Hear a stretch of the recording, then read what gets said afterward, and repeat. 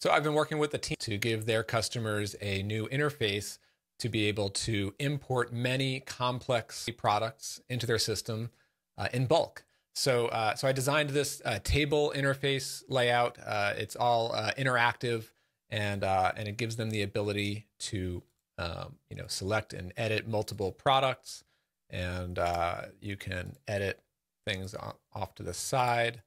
It's got selectable options here got all the little details and components that the backend developers will need to be able to ship this new feature to their customers.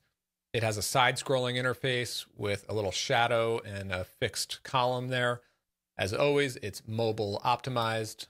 The tab layout converts down to a dropdown, and the table is still accessible on mobile.